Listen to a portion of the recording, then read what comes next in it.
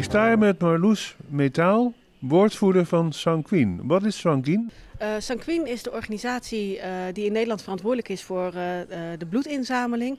Wij zamelen bloed in voor patiënten die bijvoorbeeld een ongeluk hebben gehad, die bloed nodig hebben of die een kankerbehandeling krijgen. We zamelen ook plasma in.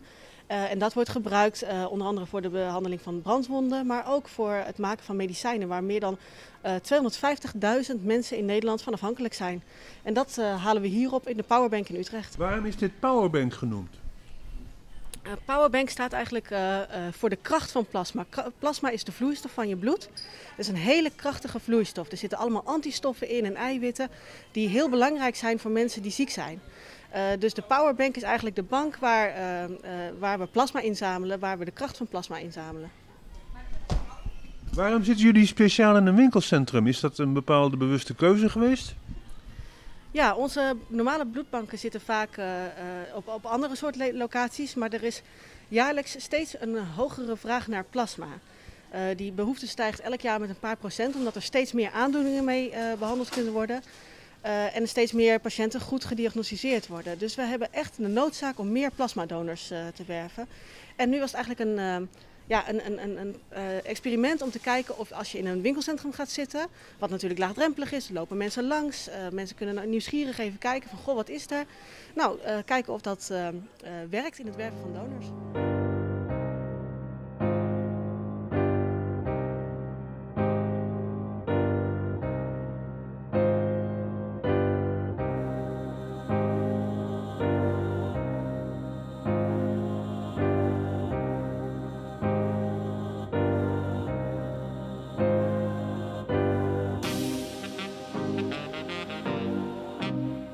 Sinds wanneer zitten jullie hier en uh, gaat het goed?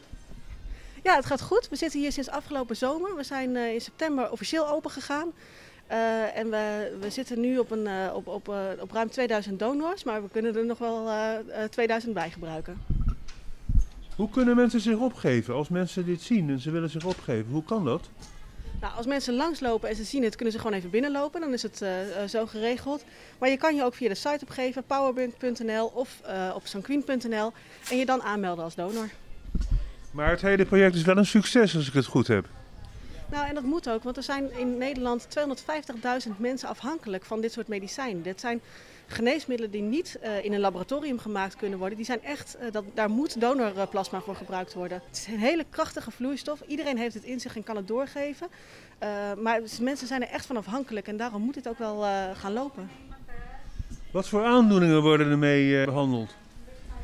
Uh, dan heb je het bijvoorbeeld over auto-immuunziektes of uh, over een aantal antistollingsziektes. Uh, en die zorgen er vaak voor dat mensen echt niet meer mee kunnen doen met het normale leven. Dat ze veel te moe zijn of hun spieren niet meer werken. Problemen hebben met bloedstolling. En dat zijn echt ziektes waar mensen nou ja, niet meer normaal mee kunnen meedoen in de samenleving. En met die medicijnen wel.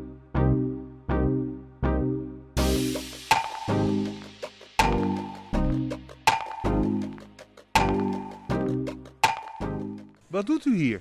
Ik kom vandaag uh, plasma geven. Dat is wat ik hier kom doen, ja. Hebt u dat al meer gedaan of is het de eerste keer? Nee, het is inmiddels nu de... Wat plasma geven betreft, uh, denk ik de vierde of vijfde keer of zo. En waarom doet u dit? Nou, ik vind het een goede zaak dat men uh, dus donor, dat je donor bent en dat je dus daarmee mensen kunt helpen.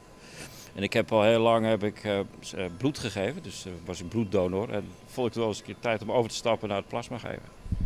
Wat voelt men daar nou van? Nou, je voelt er helemaal niks van eigenlijk.